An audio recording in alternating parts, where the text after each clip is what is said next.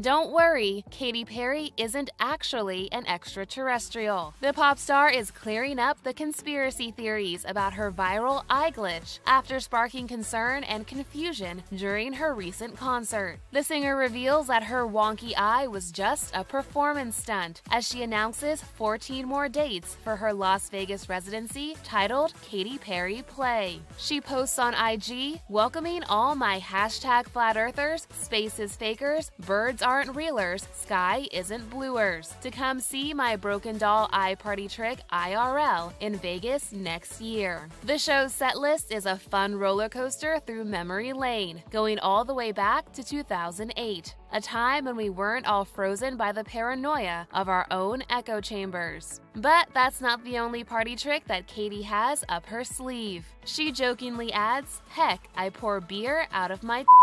That's a party trick too. Katy kicked off her play residency back in December 2021. She is set to return to Sin City for 14 more shows between February and April 2023.